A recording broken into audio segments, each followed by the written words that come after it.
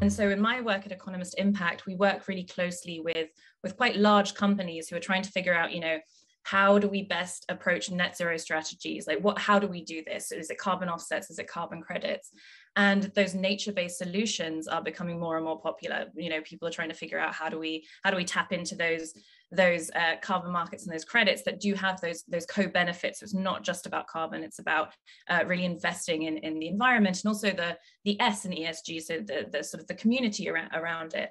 And that's where I really see regenerative agriculture and and the potential to um, for, for carbon markets and regenerative agriculture to, to come together. And I think that uh, the carbon market system really is a necessary finance mechanism for regenerative agriculture, especially if we need to scale it in the way that we do. I mean,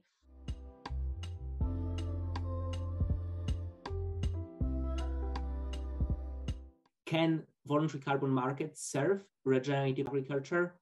Surely yes. Will they? We don't know.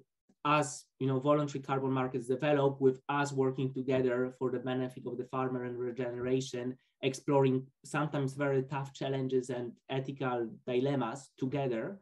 Um, I see voluntary carbon markets in that space speaking more and more with regulated markets uh, and the common agriculture policy or the, the agriculture policy of the EU, because I think this is the scope of conversation we are having here, aligning more with uh, the climate policy and objectives of the European Union, mainly net zero by 2050 and significant reduction by, by 2030.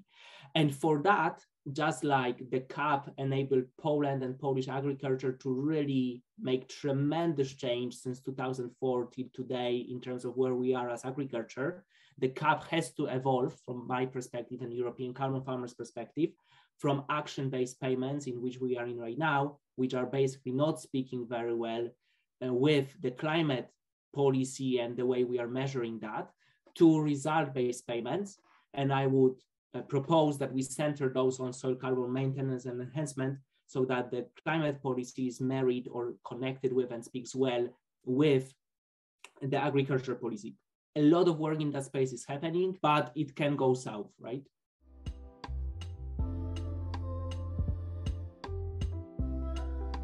There has to be more of an open dialogue and people who want to um, sort of broker these markets and offer these types of credits, which have these co-benefits, which people I think and companies again are really interested in exploring more so than just um, uh, credits that are taken from like an energy plant or a, a solar power plant.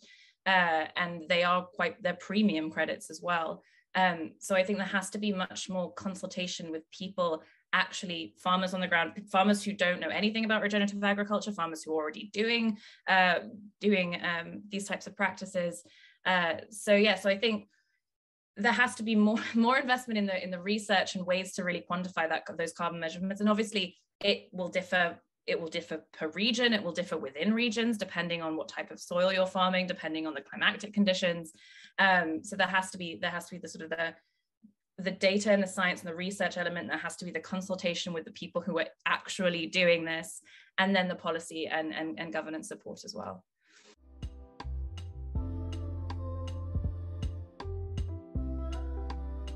If we look at nature-based solutions and we know that from from reforestation reforestation is only successful if you take the human stakeholder into account. If you take the local communities the, the trees will only stand as long as the human stakeholder has an interest in them um, for, for good or for bad.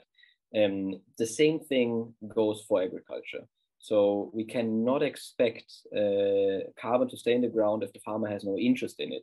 And obviously the farmer does have an interest for it, but the farmer also needs to sort of agree or need to have taken that decision um, to build their farm on that principle um, of increasing sort of natural natural resources. So what basically when when we say we high quality certificates, what we also include there is um, sort of the farmer benefit, and the farmer benefit for us is really reflected in farm resilience, sort of also the economic resilience, because regenerative agriculture, from everything we see, is more profitable at the end of the day if it is done well.